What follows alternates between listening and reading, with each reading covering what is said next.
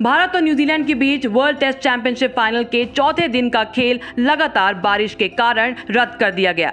Southampton में सोमवार को सुबह से ही बारिश हो रही थी, जो खेल रद्द होने तक भी नहीं रुकी। इसकी वजह से अंपायर को ये फैसला लेना पड़ा।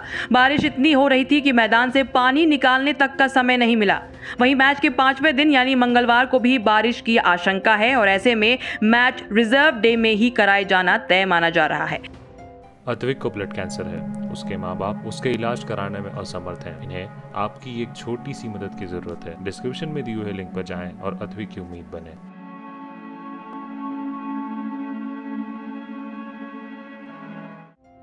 बता दें, तीसरे दिन का खेल समाप्त होने तक न्यूजीलैंड ने भारत के 217 रन के जवाब में अपनी पहली पारी में दो विकेट पर 101 रन बनाए थे। आईसीसी अब बर्बाद समय की भरपाई के लिए छठे दिन का उपयोग करेगी, क्योंकि मैच में अभी तक केवल एक ओवर ही संभव हो पाए हैं।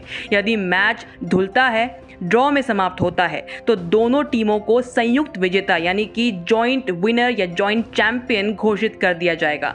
ऐसे में फैंस और खिलाड़ियों का मज़ा किरकिरा हो गया है। आईसीसी को सोशल मीडिया पर खरी खोटी सुनने को मिल रही है। डब्ल्यू फाइनल में बारिश के कहर को देखते हुए इंग्लैंड के पूर्व कप्तान केविन पीटरसन ने नाराज़गी जताई। पीटरसन ने कहा कि बेहद महत्व वाला कोई भी क्रिकेट मैच अपने अस्थिर मौसम के लिए बदनाम ब्रिटेन में आयोजित नहीं किया जाना चाहिए। चौथे दिन के खेल के रद्द होने के बाद बीवीएस लक्ष्मण और पूर्व कीवी पेसर शेन बॉन्ड ने भी अपनी राय रखी। लक्ष्मण ने कहा कि ये प्रशंसकों के लिहाज से दुखी करने वाली और हतोत्साहित करने वाली बात है। उन्होंने कहा कि आईसीसी ने मेगा फाइनल के लिए नियम ही सही नहीं बनाए, क्योंकि दिन की समाप्ति पर हर टीम चैंपियन बनना चाहती है। लक्ष्मण के मुताबिक बहुत ज़्यादा समय उपलब्ध होने के साथ ही आईसीसी पाँच दिन में साढ़े चार सौ ओवर पूरा कराने के लिए पाँच दिन में नब्बे ओवर की अनुमति दे सकती थी।